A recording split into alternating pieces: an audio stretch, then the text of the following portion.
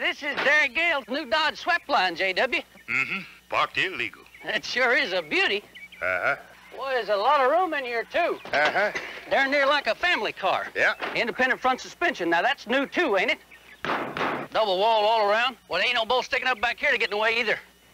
Oh, Buford there just find out a few of the reasons why if you ain't in a Dodge pickup this year, you in a heap of trouble. But then so's old Derek Gayle.